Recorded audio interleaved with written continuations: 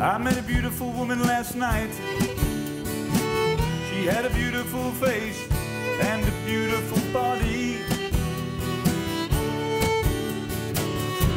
But she had the brain of a pigeon. A pigeon. I was drunk, I didn't care. I went home with her anyway. Morning I woke up, I looked into her eyes. She looked at me and she said, Oh.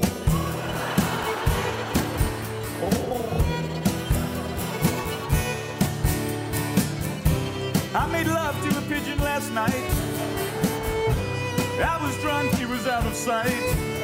With his skinny little legs and her penetrating eyes, her lice infected neck and her feathers. Leave me alone, stop cooing down the phone.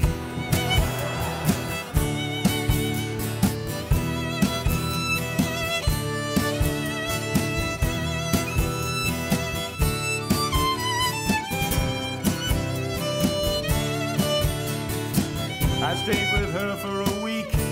She gave good beak.